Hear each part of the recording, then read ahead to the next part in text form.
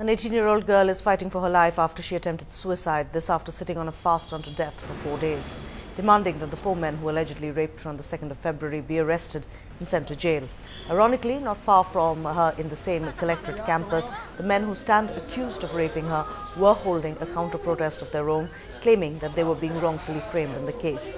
The police promised to arrest the men within 24 hours. When they didn't, she tried to kill herself by taking poison. बहुत मारा, पीटा, बहुत गंदी गंदी गाली दी। बिलाल ने भी बहुत मारा मुझे। और बहुत ज़्यादा बुरा बुरा कहा और ये कहा कि तुझसे जो भी हो तू कर लेना, तुझसे कुछ भी नहीं होगा। तू मेरा कुछ भी नहीं बिगाड़ सकती। और पुलिस ने भी कोई कार्रवाई नहीं की। अभी तक कुछ भी नहीं हो पाया। बारह दिन हो चुके हैं। पैसा खा लिया पुलिस ने उनसे। पुलिस उनके साथ हम साज है। पुलिस ने हमारी कोई भी नहीं सुनी। कुछ भी नहीं, कुछ भी नहीं हुआ। कुछ भी एसपी से भी मिल है सीओ से भी मिल है। इंस्पेक्टर वगैरह कुछ भी नहीं हुआ, किसी ने कुछ भी नहीं किया उनका।